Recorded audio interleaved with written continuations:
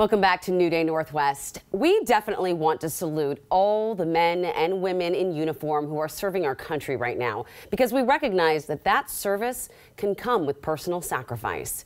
In her new memoir, The Fine Art of Camouflage, author Lauren Kay Johnson shows us the reality of a woman at war. Lauren joins me now. Thank you for writing this book and coming here. You said, first of all, that, that military is a family business. Tell us about that.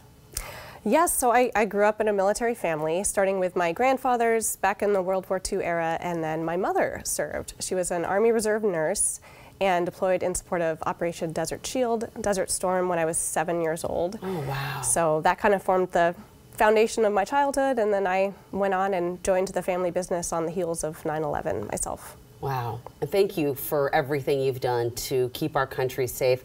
I have to ask, as a child, growing up with your mom, being deployed, I imagine, that had to be hard.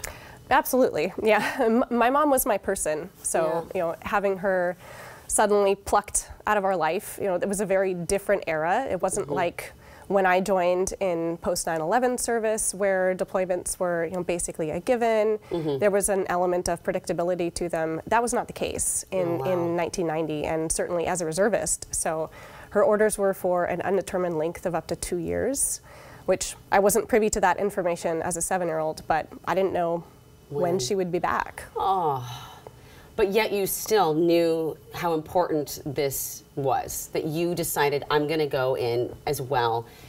Where did you do when you enlisted? Um, so I went through ROTC oh, in did? college. Yes, awesome. I and commissioned as an officer after graduating college, and um, joined the Air Force as a public affairs officer, which is basically like PR yeah. for, for, the Air Force. So this is actually an interesting experience because I um, part of my job was setting other folks up to do interviews like this. But not yourself. Here I am, right? yeah. Oh, wow, look at you. There you are with in uniform. Where was this taken? Uh, so this was in Afghanistan. Mm -hmm. This was outside a, a, schoolhouse in Gardez in Paktia province, which was just down the road from where I was stationed at Forward Operating Base Gardez. Mm -hmm.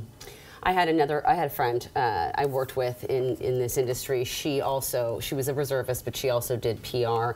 It was very hard, she said, being a woman, being deployed you're you were one of seven women on a team of 80 people.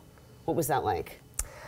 It, it was isolating in a lot of ways, mm -hmm. and, and, my team was wonderful. I, I, was very fortunate in that regard, and you know, a lot of women and men in the military deal with horrible things that, that you shouldn't have to worry about, like military sexual trauma. Mm -hmm. I did not have that experience, thankfully. Yeah. Um, I did deal with some harassment, but for the most part, it was relatively mild.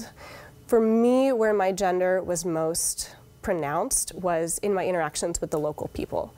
Ah, Af yeah. Afghanistan and the area where I was is a very conservative province. Mm -hmm. So they weren't used to interacting with, with women in, mm -hmm. an, in a place where power dynamics came into play. Yeah. So the, the reception varied widely. yes, I, am sure. Sometimes, you know, the, the folks would come up to our group and be excited to see us because we, you know, brought money and mm -hmm. development to the province. But then they noticed I was a woman, and some of them were like, "Ooh, I don't, I don't know what to do with this," and, oh, wow, and some yeah. actually skipped right over me and shook the hands of the the male soldiers next to me. Some kind of like warily shook my hand, like I should you know, probably pay attention because yeah. they might give me money if right. I'm nice to them. Knew how to play the game, as it were. Yeah. And then some were just like really excited, like, oh, oh, a woman, I want to meet her. Oh, I think it was really great. interesting. That is great. Um, after you left the military and you gave us your service, you were diagnosed with chronic adjustment disorder. What is that? So the the best description I found for it is like PTSD light. Mm -hmm, um, mm -hmm. Essentially not checking all the boxes for, for PTSD. Okay.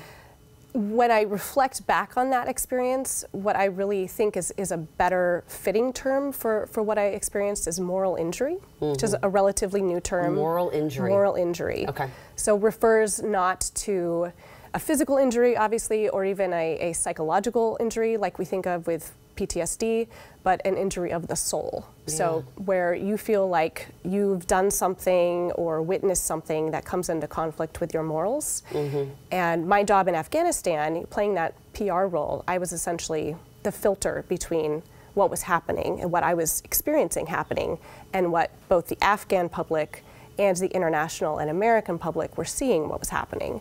And I felt like I wasn't being forthright that information mm-hmm. and was not you know, providing the information that those audiences needed to make informed decisions about what they were doing. Such a fascinating topic. I'm assuming you go through it all in this book. Thank you so much for being here. Thank you for writing this and sharing yourself. I know it's hard to step out from behind the camera, but we are so glad that you did. Thank you so much for having me. Absolutely. The book is The Fine Art of Camouflage. Check it out.